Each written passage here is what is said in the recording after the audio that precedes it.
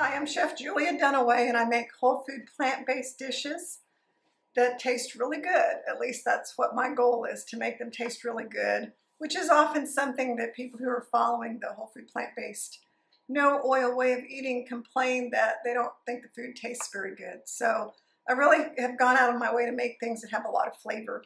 Well, recently I was invited to my daughter's house for dinner and my daughter does not eat the way I do. So I didn't know what she was going to make, but she said she would make something just for me.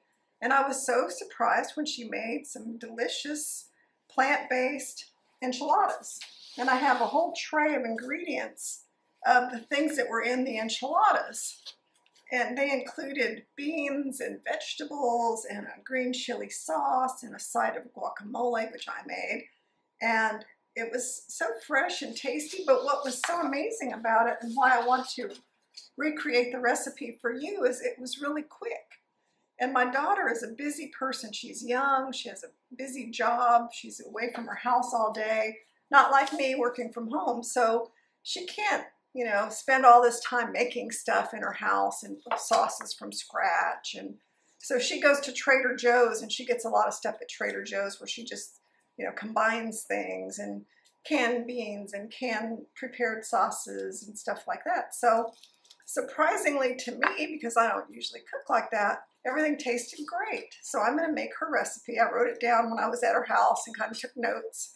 And of course it starts with an onion.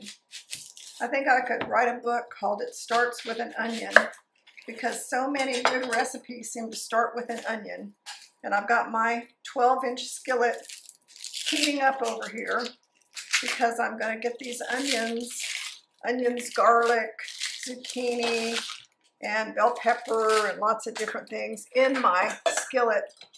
And the basis of this enchilada is a, it's a vegetable, bean, and tofu filled enchilada, which I'm, you know, I, I'm a pretty creative chef, but I never thought of making enchiladas stuffed with those things. And so, you know, I asked her, I said, well, how'd you come up with this recipe? And she said, well, I saw a recipe that was about making vegan enchiladas. And she said, I just kind of took the idea from there, but didn't use the recipe. And I said, okay, well, you know, she's like me. She likes to come up with her own ideas. So you hear that sizzle? That's what you want when you have something like this, you know, plant-based, no oil. You want to start with your pan sizzling a little bit because then it'll start to brown the onions and you'll develop some flavor. Now I'm going to put two nice cloves of garlic in here. And these are garlic. This is garlic I got in, in uh, Santa Fe. It's purple, some kind of red, purple garlic grown in that local Santa Fe area. And I had, I wish I had bought more at the farmer's market, but I've been using all this garlic and everything. I have a few cloves left.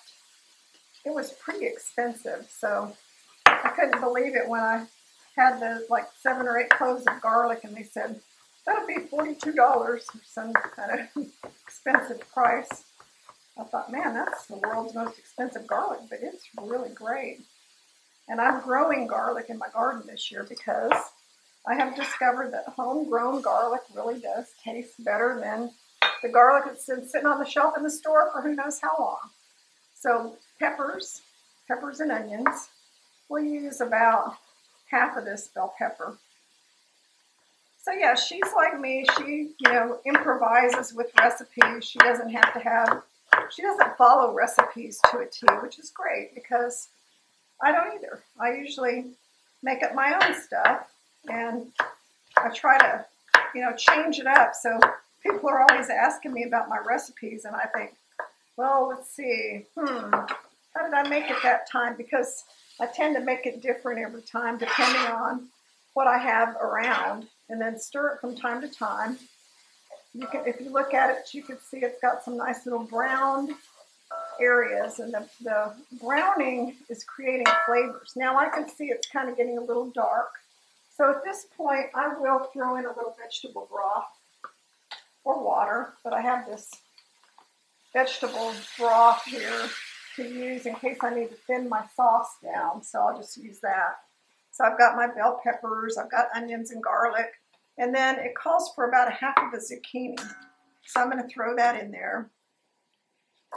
And you know, you could use any vegetable you like. If you had some summer squash, still yellow squash, you could cut up some yellow squash. Uh, you could put um, winter squash in here. Like let's say you had some leftover butternut squash, acorn squash, pretty much anything. You know, it, it's up to you. But these are, whoops. So, Cami, my boxer's in here. I don't know if she'll eat raw zucchini, but there's a nice little piece on the floor right under me. Uh, they will eat stuff that falls on the floor, even if it's not a good idea. I was making some potatoes a couple days ago, and I dropped a couple of pieces of really hot potatoes out of the air fryer onto the floor, and both the boxers grabbed one each, the half of a potato each, and they swallowed it whole. And then a couple minutes later, they both kind of got sick. So they don't have the sense to not eat burning hot potatoes, dummies. So I hope they learned from that, but they probably didn't. All right, so I turned the heat back up. I turned it down, added the stock so that it wouldn't start burning. And then after the stock cooled things down, then I turned it back up. So now it'll keep cooking. Uh, let's see, I'm going to add a jalapeno and that will give it a little heat. If you have people in your family, I have some people in my family that are very anti-spicy. So, you know, a lot of times I won't add a lot of heat. Like even now, I took the, I cut around the outside of the jalapeno pepper so that I didn't get all the seeds and membranes, really hot part in here. Because if I do, then somebody's going to say, oh, I can't eat that, it's too hot. So, you know, I'm trying to kind of keep it toned down a little bit. And, and to make it spicier, I'll use uh, Fresno chilies as the topping. I have some Fresno chilies from my garden. They look like this. They're not super hot, but they have a little bit of a kick, enough that it tastes pretty good. Okay, so let's put some spices in here. Well, here, let's, let's put our tofu in here. So uh, another thing that my daughter put in the enchilada filling was tofu, which I thought was kind of different you know, I use tofu for everything, but I didn't think about putting it inside enchiladas. So this is a, a pound package of organic extra firm tofu, the kind I use for everything, the soya brand. I drained it, pressed it, and I only am using half of it. So I will put the instructions for pressing tofu in the show notes, but it's just like I press it for everything else. I wrap it in paper towels and a dishcloth put it under a cutting board with a heavy book on top, and that's it. Uh, I know they sell tofu presses. I have one, but I hate to get stuff out. I guess I'm, you know, the more stuff you get out, the more stuff you have to clean. So I'm not a, a big get everything out and have to clean it. So I like it if I can just use something readily available in the kitchen, which is a paper towel and a cloth like this and a book. So that's what I do. So I've got my tofu in here. We can throw in some black beans. I have a can of rinsed and drained black beans, and this is Trader Joe's brand black beans. They have really low sodium. Uh, if you are a person like me who does Rancho Gordo beans, you cook up Rancho Gordo beans frequently, then you can put Rancho Gordo beans in there, any kind of beans that you've made. Black beans work really well with this recipe, so I, I like to use black beans because it's kind of a southwest, you know, green chili kind of a thing. But any, any beans will work. So um, that was a can of beans, which is like a cup and a half of beans. Do we want to put a little salt in there? Yeah, just, you know, a couple of pinches. I don't like to put a lot of salt in my food, but I like to put a little in there. Little freshly ground black pepper is good.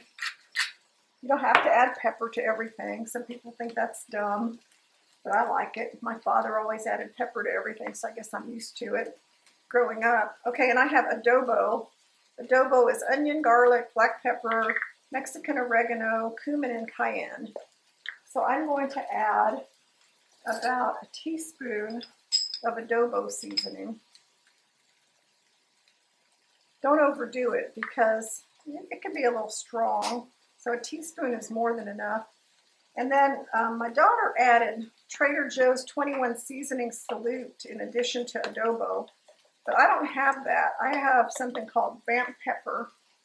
It's kind of a seasoned pepper, uh, garlic, onion, uh, smoked paprika, parsley, lemon peel. It's from Vamp. It's from uh, Fresh Jax. So I'm going to use that. I think, you know, pretty much any kind of seasoning mix that just gives it a little extra zing would make it taste good. So don't, you know, stress out about what kind of seasoning mix to put in this. It really doesn't matter. And it's kind of getting a little dry. So let me make sure I've got all the ingredients in it. And I think I'll splash in a little vegetable broth. Everything is in it. Oh, except for my corn. And this was corn I took out of the freezer this morning. And it was just sitting out on the kitchen counter. And it kind of defrosted. If you're using corn right out of the freezer, put a little hot water on it like boiling water and let it sit for five minutes and that kind of cooks the corn. So it looks really pretty with the corn in it too. I think that gives it a nice color. So if you have any of the filling left, I'm going to put like, you know, two tablespoons of broth in there. And I'm going to set it off to the side so I can warm up my tortillas. But, um, you know, you may have a lot of leftover filling when you're done with this because we may not use all of this. Well, that's great because what I found out is the filling is good just by itself. Like you could just have a bowl of rice with that filling on top of it and then call it a bowl, like, you know, a burrito bowl. Okay, so we need to make our sauce. We'll let that filling cook a little bit longer and we'll heat up our pan to heat up our tortillas. So I've got a little skillet here, and I like to heat up corn tortillas because that makes them easier to, to uh, fold. But let's get our sauce made so we have it ready. I have a bowl here. And again, like I said, the sauce is so easy. She got roasted tomatilla salsa verde from Trader Joe's, which I went and bought exactly what she had, so I would make what she made. And I'm calling them Alexandra's enchiladas. So it was, it was in the refrigerator section. However, my husband gets a sauce that tastes just like that, almost identical. And he gets his at the Central Market, which is another supermarket. And it's just called uh, Xochitl. And it's a brand, and it's a tomatilla salsa. So I started thinking pretty much any store-bought green salsa will work. And then she put um, a can of mild hatch chilies in hers. Well, so I thought, okay, that's good. But I'm adding a half a cup of hatch green chilies that I had from the summer because we had a lot of hatch chilies we bought from the market and we froze them after after they were um, already grilled. And so I got the skins off of them and I put them in freezer bags so I would have a lot of hatch chilies to use all year. So I thought, well, this is a good way to get that extra green chili flavor in the sauce. So I added that little extra, you know, the fresher green chili. So if you didn't have that, you could use two cans of green chili. And I'm going to put about a fourth of a cup of the vegetable stock in there to make it a little saucy. Because I like to have plenty of sauce. Not so much for me, but my husband has to have a lot of sauce on everything he's like, you know, obsessed with sauce. I don't know why, but he's always asking me stuff like, is there any more sauce? All right, so now the filling looks like it's done. I'm going to taste it. I want to make sure there's no raw vegetable taste in it. So I'm going to take a little bite of it and see that the onions are cooked. That tastes good. The onions are cooked down. It doesn't have a raw taste. And then my pan is heating up, so I'm going to get my tortillas in here and start warming them up. I can put like three in at a time. They don't have to get really hot. They just, putting them in a warm skillet makes them a little bit more pliable. So I've got Loft Superior Yellow Corn 6-inch tortillas. They sell them at the Central Market, which is a gourmet grocery store. However, my daughter, she used the Trader Joe's brand corn tortillas. And she said she liked them because they're really thick. And they are really thick, but I didn't like the way they have a real strong corn smell. And I think the, the grocery store ones, they make them more frequently and they're local. So I thought, well, I'll get these because they're more like fresh corn tortillas. Nothing wrong with the Trader Joe's one, but it just depends. You know, I think, you know, either one is fine.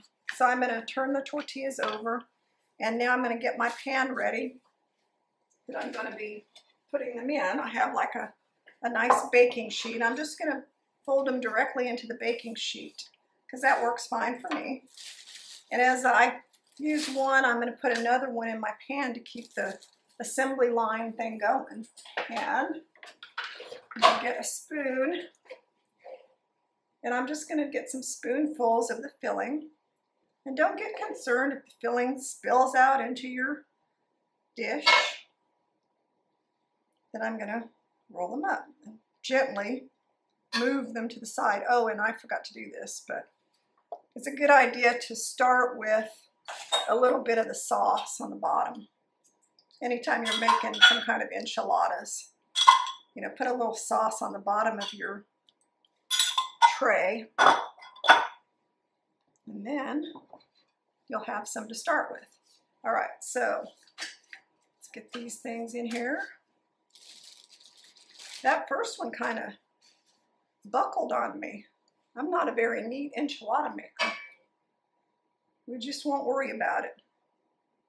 If it if it doesn't stay together nicely, then it doesn't. We'll do the best we can. We'll scoot it over there and hope that it works. Because once it cooks, it kind of molds together anyway. So wetting them in the sauce helps too. So I'm just kind of rolling them and pushing them to the side. And that's working just fine. So we're going to fit as many as we can in here.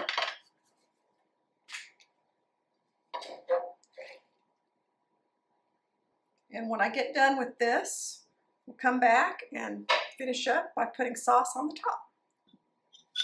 All right, I've rolled up the enchiladas. I made two, four, six, eight.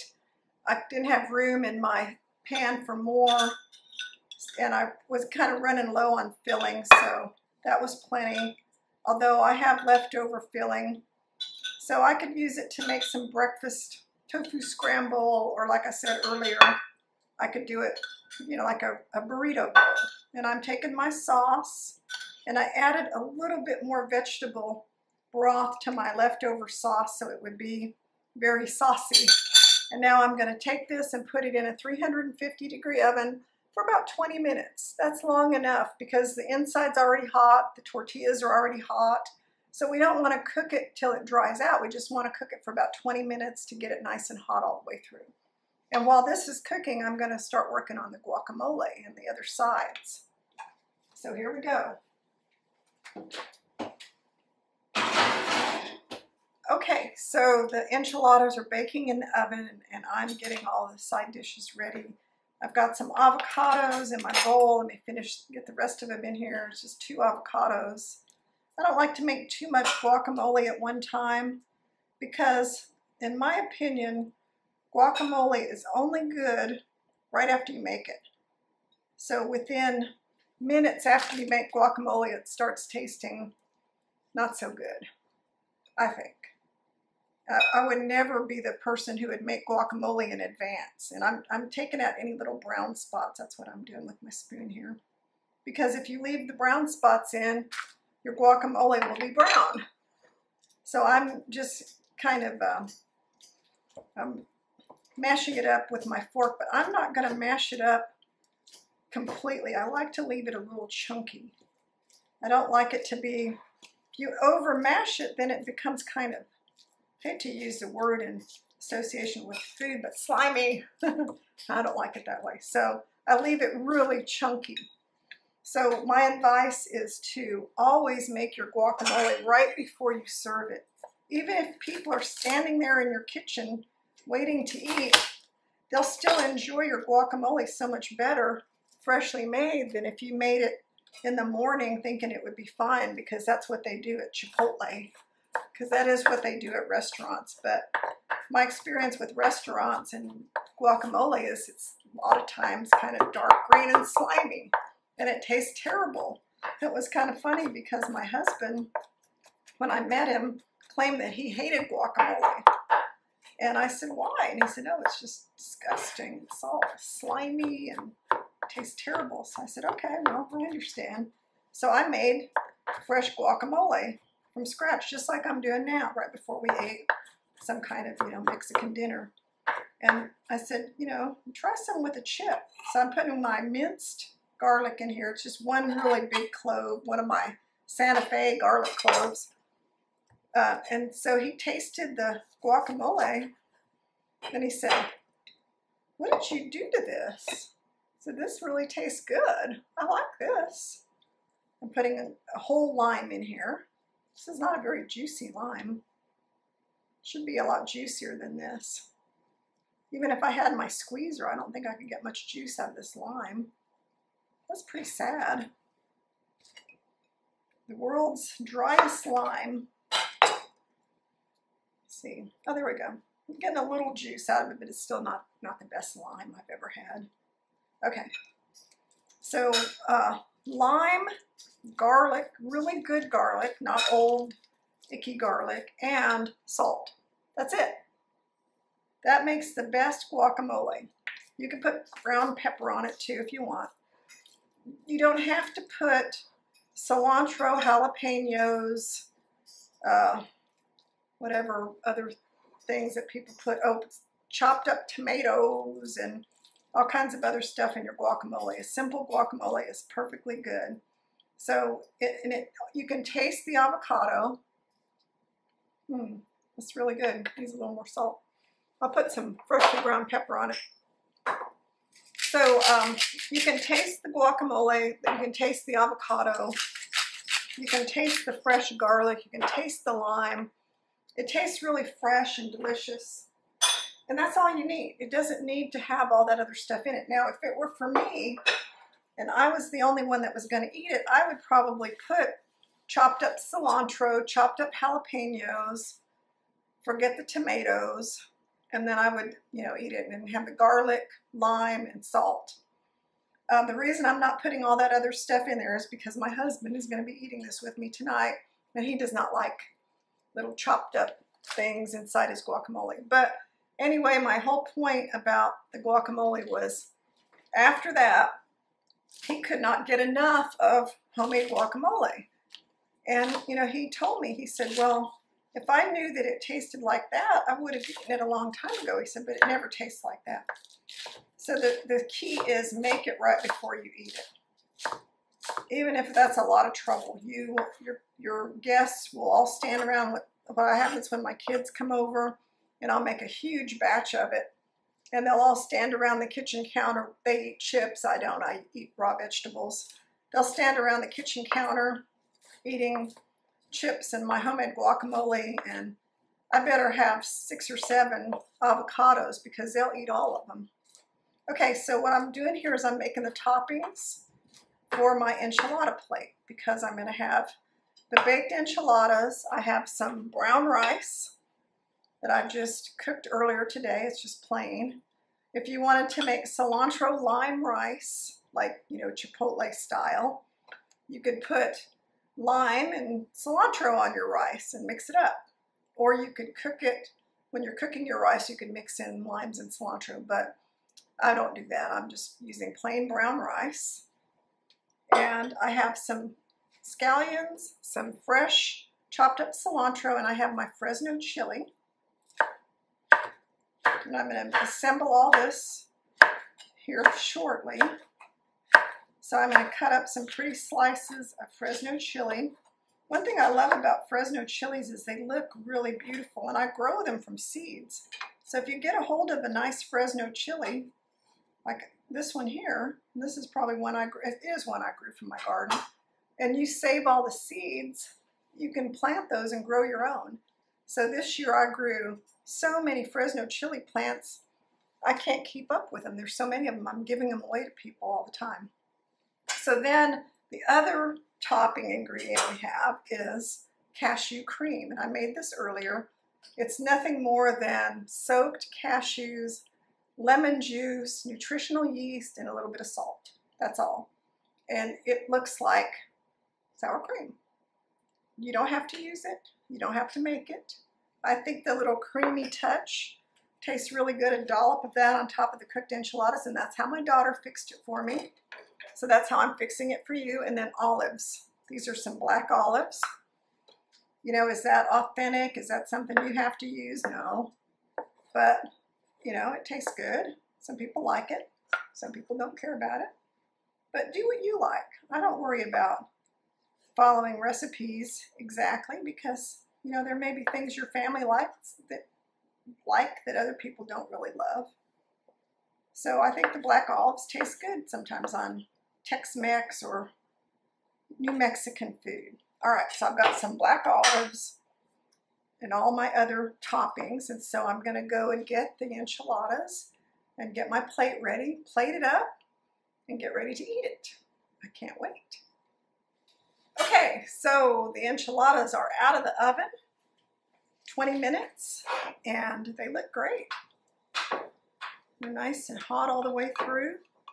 Now I gotta get them off of my, get them out of the pan without them falling apart. That's always a trick, but just, you know, use a second spatula is kind of how I do it. I just, you know, get one for each end.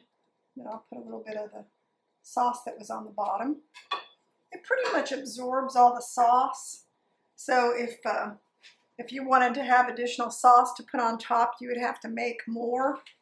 And I'm not going to. You could use a salsa if you wanted to. I'm going to get a little serving of rice.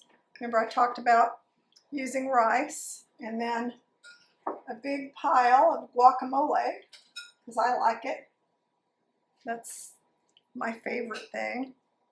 There's plenty of guacamole. You don't have to use that much if you don't want to. And then we have some other things. I have some tomatoes from my garden. I just had them sitting out here, so I cut some up. The garden is, even though it's October, things are coming back. We had a really hot summer here in Texas, and everything was doing poorly. But now that the weather's cooled down, everything is coming back. We need a little more rice on here. This looks kind of empty. All right, so then we can take some of our cilantro and put it over our enchiladas and sprinkle some scallions on. Let it get over the rice too. And then remember the Fresno chilies? I think they look so pretty. And then last but not least, remember I have my delicious cashew sauce. So I can put some of that in the middle. I like a lot of that. And kind of got a little messy there. Oh, and the olives. Just a few of those. And there we have it. A beautiful, get a fork, a beautiful dish of our green chili using hatch chilies. Lots of fresh vegetables, some beans, some tofu. Mmm, there's so many fresh flavors, a little heat, and super healthy. So I hope you make this whole food plant-based version of enchiladas with black bean, vegetable, tofu filling, little side of rice, homemade guacamole, learn how to make that. You'll always have friends if you can make good guacamole. Make your cashew cream and just enjoy this dish. This would be great for a company dinner, for having friends over. I don't think you have to say anything about it. Just make it and everybody will eat it and enjoy it. So I hope you make this soon. Thanks for watching and come back and watch more of my videos. Thanks everybody. Bye-bye.